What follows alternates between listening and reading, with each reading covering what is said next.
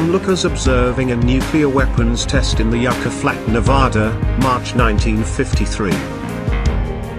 American sculptor Frederick Hart finishing the clay model of the three soldiers, which was later placed as a bronze statue at the Vietnam Veterans Memorial, 1983. Pope John Paul I, known for serving only 33 days until his death in September 1978. Two French soldiers with a dog that was trained to locate injured soldiers on the battlefield, World War I, 1915. German-American mathematician and electrical engineer Charles Steinmetz, known for his contributions in the development of alternating current, 1907. British soldiers fighting in a street in Sicily, Italy, World War II, 1943.